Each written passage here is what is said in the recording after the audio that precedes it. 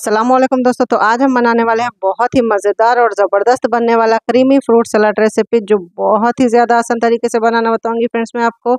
और इतना ज़्यादा टेस्टी बनता है और बहुत ही जल्दी और झटपट तरीके से ये बनकर रेडी हो जाता है। तो वीडियो को बिना स्किप के पूरा देखिए, अगर आपको मेरी रेसिपी पसंद आती है तो प्लीज़ मेरे वीडियो को लाइक कीजिए, ज़्यादा से ज़्यादा शेयर कीजिए और प्लीज़ मेरे चैनल को ज़रूर से सब्सक्राइब कीजिए। तो चलिए, बनाना शुरू करते हैं। बहुत ही मज़ेदार सी और आसान सी रेसिपी है। बिसमिल्लाम तो सबसे पहले देखिए फ्रेंड्स, मैंने यहाँ पर एक बोल ले लिया है, जिसमें मैं डाल लूँगी, यहाँ पर क्रीम डाल लूँगी। तो देखिए फ्रेंड्स, मैंने यहाँ पर 250 फिफ्टी का पूरा एक पैकेट क्रीम का लिया है। तो ये पूरा क्रीम मैं इसमें डाल लूँगी। तो तकरीबन ये है पूरा एक कप।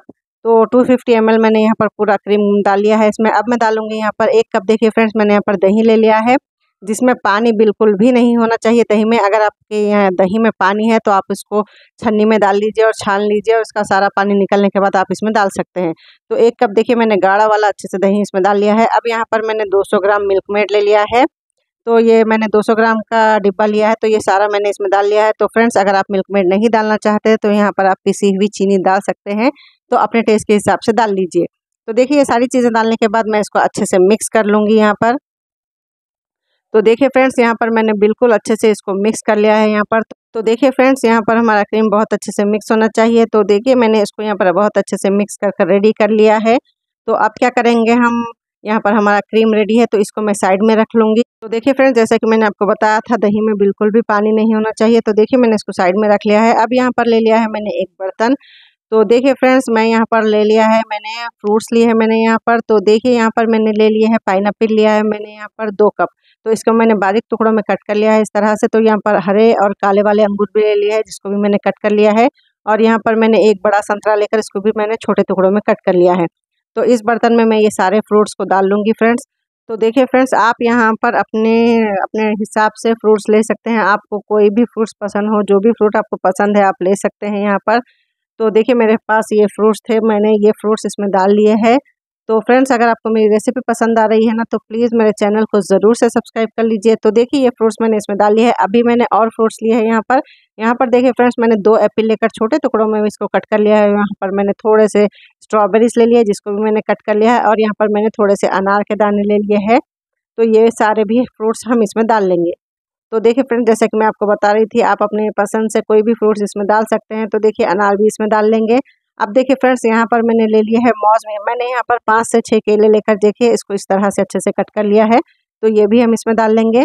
तो देखिए, सारे फ्रूट्स मैंने अच्छे से इसमें डाल लिए है। अब हम क्या करेंगे, जो क्रीम हमने बनाकर रेडी कर लिया है ना, वो सारा क्रीम हम मिक्सचर इसमें डाल लेंगे।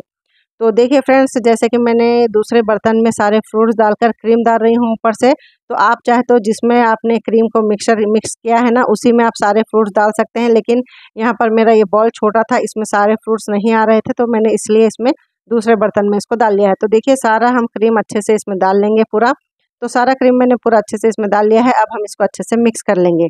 तो देखिए फ्रेंड्स, अच्छे से इसको मिक्स कर लेने के बाद मैं इसको रख लूँगी फ्रिज में तकरीबन दो घंटे के लिए।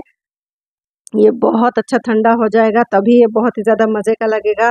तो देखिए फ्रेंड्स, ये आप रमज़ान में इसको ज़रूर से बनाइए। आप इसको दोपहर के टाइम पे बनाकर फ्रिज में रख लीजिए और इफ्तार के टाइम पर आप इसको खा सकते हैं। इतना ज़्यादा मज़े का लगता है फ्रेंड्स, क्रीमी और आप, मैं आपको क्या बताऊँ, इतना ज़्यादा मज़े का बना था ना ये। तो देखिए, अच्छे से मैंने इसको पूरा मिक्स कर लिया। तो मैं इसको रख रही हूँ फ्रिज में तकरीबन दो घंटे के लिए। जब ये अच्छे से ठंडा हो जाएगा ना, तब मैं आपको बताऊँगी। तो देखिए फ्रेंड्स यहाँ पर मैंने दो घंटे के लिए इसको फ्रिज में रख लिया था और ये बहुत अच्छे से ठंडा हो गया है और बहुत ही ज़्यादा मज़े का बनकर रेडी है। तो इसको मैं सर्व कर लूँगी दूसरे बर्तन में। आप चाहे तो इसी में भी आप इसको रख सकते हैं फ्रेंड्स तो देखिए मैंने यहाँ पर इसको दूसरे बर्तन में सर्व कर रही हूँ।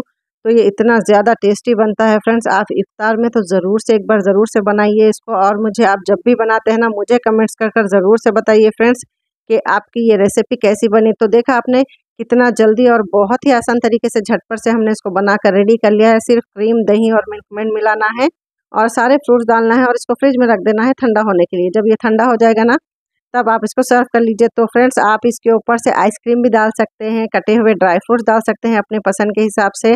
तो मैं इसके ऊपर देखिए, थोड़े से यहाँ पर काले वाले अंगूर डाल रही हूँ, थोड़े से स्ट्रॉबेरीज डाल रही हूँ और थोड़े से अनार के दाने डाल रही हूँ। आप इसको जब सर्व करेंगे ना तो आप इसके ऊपर से आइसक्रीम भी डालकर खाइए फ्रेंड्स। बहुत ही ज़्यादा मज़े का लगेगा और बहुत ही ज़्यादा मज़ेदार और टेस्टी हमारा यहाँ पर क्रीमी फ्रूट सलाद बनकर रेडी है। तो आप भी ज़रूर से ट्राई कीजिए फ्रेंड्स और मुझे बताइए आपको मेरी रेसिपी कैसी लगी फ्रेंड्स। अगर आपको मेरी रेसिपीज़ पसंद आती है ना तो प्लीज़ मेरे वीडियो को लाइक कीजिए, ज़्यादा से ज़्यादा शेयर कीजिए और प्लीज़ मेरे चैनल को ज़रूर से सब्सक्राइब कीजिए फ्रेंड्स। और आपको कौन सी रेसिपी चाहिए रमज़ान के लिए, रमज़ान की ईद के लिए तो प्लीज़ मुझे कमेंट्स कर कर ज़रूर से बताइए। इंशाल्लाह मैं आपके साथ ज़रूर से शेयर करूँगी। और आप मेरा वीडियो कहाँ से देख रहे हैं तो मुझे प्लीज़ कमेंट्स कर कर ज़रूर से बताइए। तो इन बहुत ही जल्द इसी तरह की कोई आसान और मज़ेदार सी रेसिपी मैं आपके साथ शेयर करूँगी। तब तक के लिए दुआओं में याद रखिएगा। अल्लाह हाफिज़।